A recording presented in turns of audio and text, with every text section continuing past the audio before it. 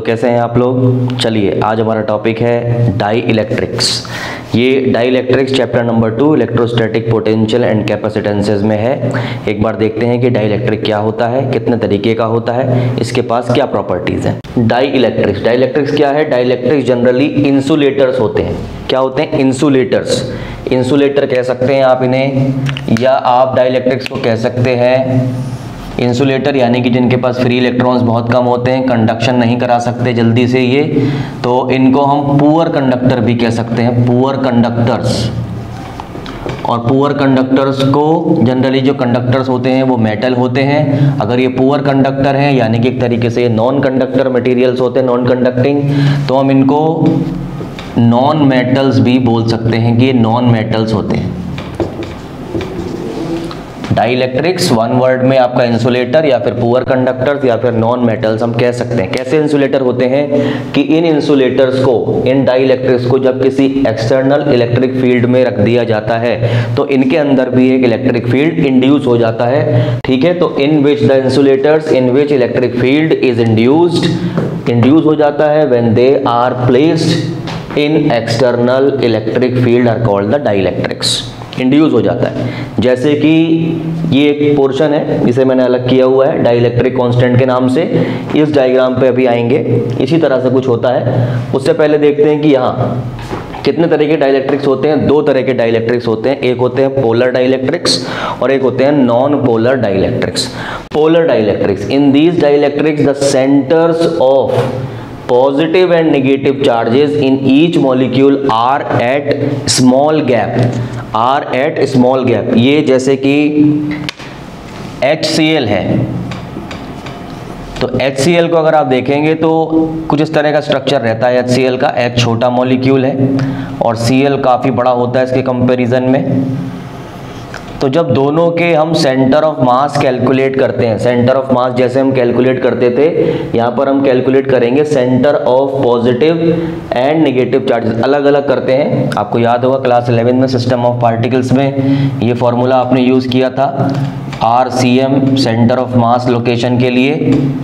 मास था वहाँ पर M one R one plus M two R two divided by M one plus M two and so on दो, तीन, चार जितने भी मॉलिक्यूल्स हैं, उनके लिए हम निकालते थे। तो यहाँ पर अगर एस को हम देखें तो इनके पॉजिटिव और निगेटिव जो होते हैं, उनके centre of positive negative actual में है सेंटर ऑफ़ मास ही पॉजिटिव निगेटिव चार्जेस क्योंकि बहुत छोटे छोटे हैं। प्रोटॉन्स और इलेक्ट्रॉन्स को हम पॉजिटिव और निगेटिव चार्ज बोलते हैं, बहुत छोटे हैं। तो इसलिए सेंटर्स ऑफ़ पॉजिटिव मासेस या फिर positive charges centres of negative charges negative masses यानी कि इलेक्ट्रॉन जितने भी उसमें होंगे, उनका सेंटर सबका। ठीक है? जब उनको कैलकुलेट करते हैं तो वो अलग अलग जगह पे आते हैं स्मॉल गैप ऐसे होते हैं। ये ऐसा रहेगा। हल्का सा ओवल है निगेटिव इधर हो गया पॉजिटिव इधर हो गया। ये निगेटिव पॉजिटिव स्मॉल गैप में है निगेटिव और पॉजिटिव यानी कि पहले से डाइपोल मूवमेंट इनके पास है, बहुत छोटा है स्मॉल गैप में है। इसी मटेरियल को जब उठा के इस एक्सटर्नल फ़ील्ड में रखेंगे, ये एक्सटर्नल फ़ील्ड है ब्लैक वाला। पॉजिटिव से निगेटिव डायरेक्शन में है ये, पॉजिटिव से निगेटिव, एक्सटर्नल इलेक्ट्रिक फ़ील्ड, या इसको ओरिजिनल इलेक्ट्रिक फ़ील्ड भी बोल सकते हैं। यहाँ पर एक मॉलिक्यूल हमने पोलर डाइलेक्ट्रिक का यहाँ पे रखा तो हमने देखा कि ये जो पॉजिटिव और निगेटिव, पहले एक सेंटीमीटर दूर थे, अब ये तीन सेंटीमीटर दूर हो गए। गैप बढ़ गया। निगेटिव प्लेट जो है, ये एक्सटर्नल इलेक्ट्रिक फ़ील्ड की निगेटिव प्लेट ने पॉजिटिव को थोड़ा और खींच लिया अपनी तरफ़ फोर्थ ऑफ़ अट्रैक्शन से, और पॉजिटिव वाले ने निगेटिव को खींच लिया।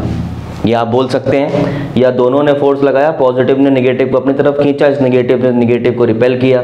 इसी तरह पॉजिटिव को ये वाली पॉजिटिव ब्लैक पॉजिटिव ने ब्लू पॉजिटिव को रिपेल किया और ब्लैक निगेटिव ने ब्लू पॉजिटिव को अपनी तरफ़ खींचा। यानी कि जितनी दूर पहले थे, उससे ज़्यादा गैप में अब ये हो गए। तो इस तरह का इलेक्ट्रिक फ़ील्ड एक इंड्यूस हो गया इस मॉलिक्यूल के अंदर, या आप कह सकते हैं कि इलेक्ट्रिक फ़ील्ड बढ़ गया उसमें। हालाँकि है बहुत कम, ठीक? तो इस तरह के जो डाइलेक्ट्रिक्स होते हैं, इनको बोलते हैं पोलर डाइलेक्ट्रिक्स ठीक है? तो नोट में आप इसको नोट कर लेंगे। पोल मूवमेंट बढ़ रहा है गैप बढ़ रहा है ट्वेल्व की वैल्यू बढ़ रही है। चार्ज तो वही है पॉजिटिव निगेटिव है उतने ही। पॉजिटिव निगेटिव जो भी मॉलिक्यूल्स आप ले रहे हैं एटम्स ले रहे हैं, उसमें नंबर तो बढ़ेगा, घटेगा नहीं। गैप बढ़ रहा है। गैप क्योंकि बढ़ रहा है? और डाइपोल मूवमेंट का फॉर्मूला आप जानते हैं P is equal to two Q L तो उसमें से Q into two L two L को हम गैप बनाते थे पॉजिटिव निगेटिव के बीच में।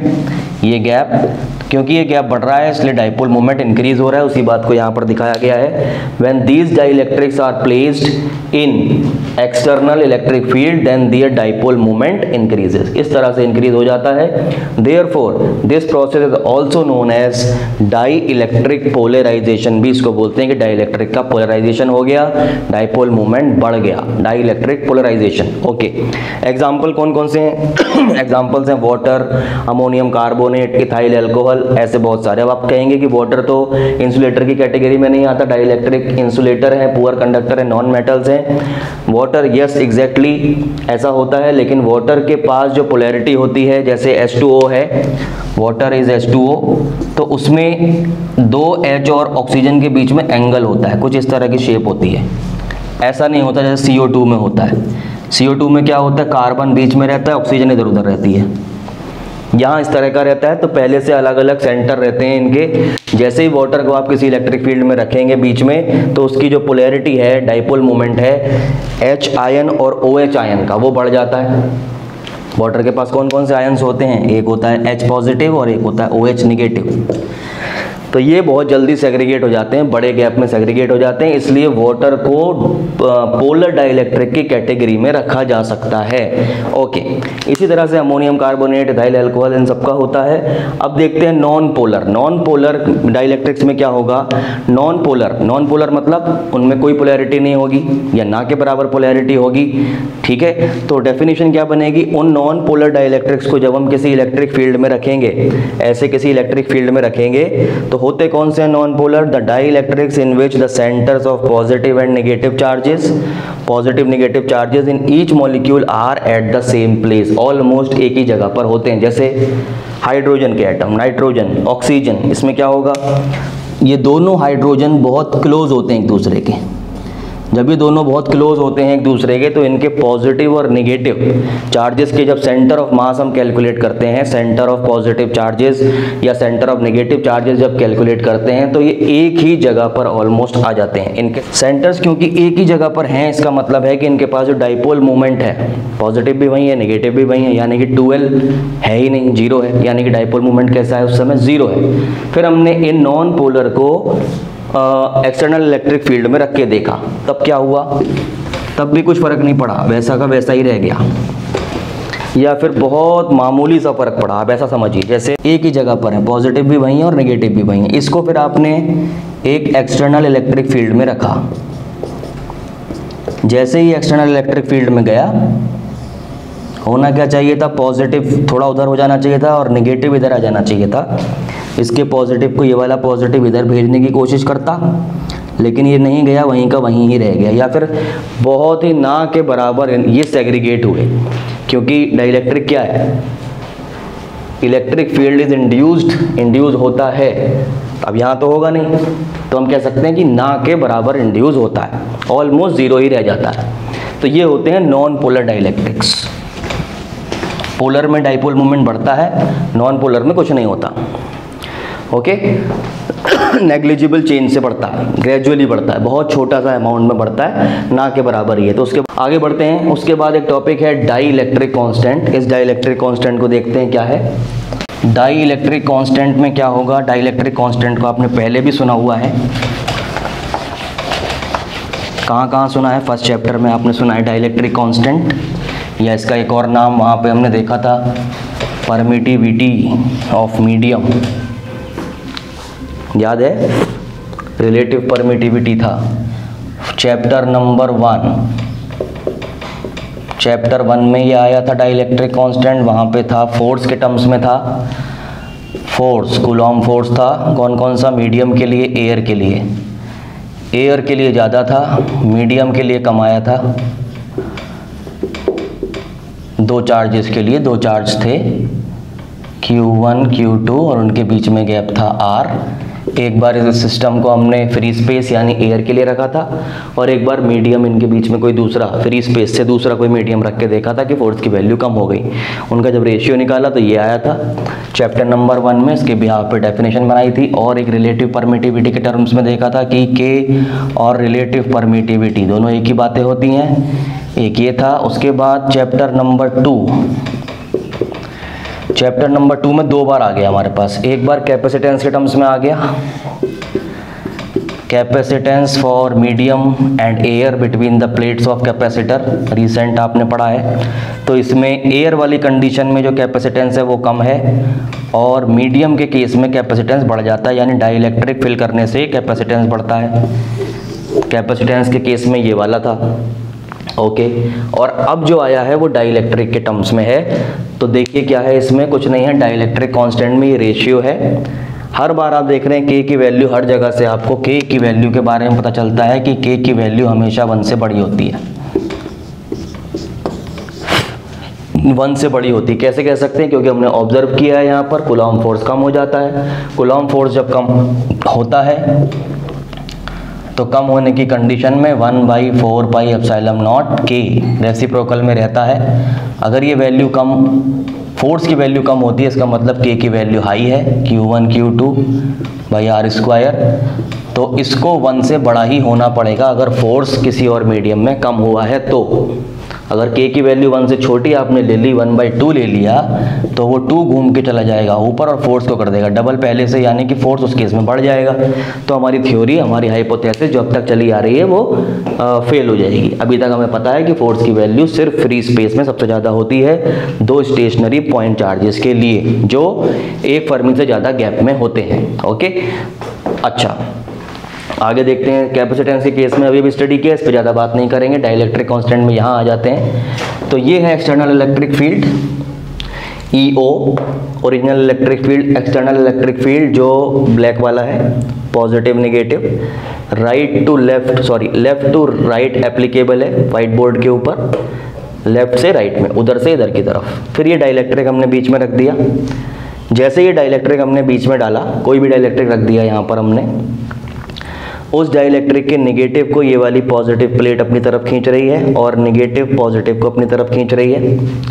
ठीक? जब ऐसा हुआ तब हमने देखा कि ब्लू वाले पॉजिटिव निगेटिव काफ़ी गैप में आ गए हैं, यानी कि यहाँ पर इलेक्ट्रिक फ़ील्ड जनरेट हुआ है ई e आई जिसका डायरेक्शन कैसा है? पॉजिटिव से नेगेटिव इलेक्ट्रिक फ़ील्ड का डायरेक्शन कैसा होता है? पॉजिटिव से negative higher potential to lower potential high charge to low charge तो ये राइट से लेफ़्ट में एप्लीकेबल है. एरो से दिखाया हुआ है. R to L right to left ये left to R right okay तो रिड्यूस्ड कितना बचा इस रीजन के अंदर? इस रीजन में जो इलेक्ट्रिक फ़ील्ड रह गया है, वो इलेक्ट्रिक फ़ील्ड इतना है. इस पूरे रीजन के अंदर, पहले कितना था? ई e ओ था। ई आई और डेवलप हो गया अपोजिट डायरेक्शन में। तो जो अब बचा है, वो है ई ओ माइनस ई आई यानी कि ये बचा हुआ है। अब ये काम कर रहा है। नंबर में देख लीजिए। सपोज़ ये है टेन न्यूटन पर कुलाम और ये वाला जो है, ये है फाइव न्यूटन पर कुलाम चलिए फोर ले लेते हैं। फोर न्यूटन पर कुलाम तो रिड्यूस होकर कितना बचेगा? Ten minus four six newton per coulomb अलग अलग मीडियम की कंडीशन में अलग अलग होगा डाइलेक्ट्रिक की कंडीशन में। तो डेफिनेशन क्या बनाई हमने? हमने डेफिनेशन बनाई कि ये रेशियो है original electric field external electric field to the reduced electric field reduced electric field तो the ratio of external electric field to reduce electric field is called the dielectric constant एक नई definition आई। Same value हमें उस medium के लिए मिली। तो E O original electric field या फिर external electric field divided by reduce E O minus E I यहाँ से ही पता चल गया कि की वैल्यू वन से बड़ी है। अगर इस डाइलेक्ट्रिक की जगह पर हम एक कंडक्टर यूज़ कर लेते हैं, कंडक्टर तो अगर कंडक्टर यूज़ कर लेंगे यहाँ पर तो कंडक्टर के पास तो बहुत सारे फ्री इलेक्ट्रॉन्स होते हैं। कंडक्टर अगर आपने यूज़ किया तो जितने पॉजिटिव ये हैं, उतने ही नेगेटिव ये कंडक्टर में आ जाते हैं। इसके पास बहुत सारे इलेक्ट्रॉन्स हैं। एक, दो, तीन, चार, पाँच छः तो छः यहाँ पर इकट्ठे हो गए। करोड़ों हैं इनके पास तो। उतने ही इंडक्शन से पॉजिटिव यहाँ पर हो गए। इंडक्शन कह लीजिए, रिपल्शन कह लीजिए, अट्रैक्शन कह लीजिए, कुछ भी कह सकते हैं। सब चीज़ हो रही है। पॉजिटिव से पॉजिटिव रिपेल हो रहा है, निगेटिव से पॉजिटिव अट्रैक्ट भी हो रहा है। और इंडक्शन भी आप कह सकते हैं एक बार को कि ये वाली एज पर निगेटिव आ रहा है तो दूसरे एज पर पॉजिटिव हो रहा है। ठीक है, तीनों ही तरह से आप कह सकते हैं। ओके फ़िलहाल हमारा उससे मतलब नहीं हमारा उस मतलब ये है कि जितना इलेक्ट्रिक फ़ील्ड बाहर है, जिसमें डाइलेक्ट्रिक हमने कंडक्टर रखा डाइलेक्ट्रिक की जगह कंडक्टर को रख लिया तो उसमें उतने ही पोलैरिटी आ गई जितनी इलेक्ट्रिक फ़ील्ड की पहले थी। कहने का मतलब ये है कि अगर उतने ही पॉजिटिव निगेटिव इसके पास आ गए जितने बाहर हैं तो 10 न्यूटन पर गुलाम का ये इलेक्ट्रिक फ़ील्ड था। 10 न्यूटन पर गुलाम का इलेक्ट्रिक फ़ील्ड ही अपोजिट डायरेक्शन में पॉजिटिव से निगेटिव की तरफ़ इस कंडक्टर में एप्लीकेबल हो गया। उतना ही आ गया। 10 न्यूटन पर गुलाम, लेकिन अपोजिट डायरेक्शन में आ गया। तो अब नेट इलेक्ट्रिक फ़ील्ड कितना हो जाएगा? 10 minus ten, zero Newton per coulomb का नेट इलेक्ट्रिक फ़ील्ड हो जाएगा। तो इसलिए नोट में दिखा दिया है कि अगर कंडक्टर को डाइलेक्ट्रिक की तरह यूज़ कर लेते हैं तो उस केस में ई इंड्यूस्ड ई ओरिजिनल के बराबर हो जाता है। अगर ऐसा होगा फॉर्मूला में वैल्यू पुट करेंगे। पुट करते ही ये वैल्यू हो जाएगी zero E naught by zero E O by zero ये हो जाएगा आपका infinity one by zero is infinity infinity से ई ओ मल्टीप्लाई होके इन्फिनिटी के की वैल्यू उस केस में आ जाएगी इन्फिनिटी तो ये है dielectrics polar dielectrics non polar dielectrics and the importance of dielectrics और डाई इलेक्ट्रिक कॉन्स्टेंट की इतनी सारी डेफिनेशन एक, दो और तीसरी ये मिली आपको और एक ये रिलेटिव परमिटी से भी रिलेटेड है, बस. ये है that is all about the dielectrics dielectrics and dielectric polarization also तो मैं उम्मीद करता हूँ आपको सारी बातें समझ में आ गई हैं। मिलते हैं अपने नेक्स्ट वीडियो में। यू कीप प्रैक्टिसिंग तब तक के लिए बाय बाय